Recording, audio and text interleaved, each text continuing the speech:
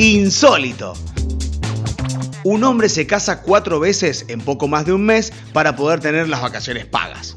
La estrategia la llevó adelante con la misma mujer, con quien se divorciaba y se volvía a casar, solamente para poder tener más días de luna de miel. Ocurrió en Taiwán. La legislación da ocho días de licencia remunerada y el caso genera un gran debate sobre los vacíos legales de la legislación taiwanesa y sobre la conducta moral del trabajador.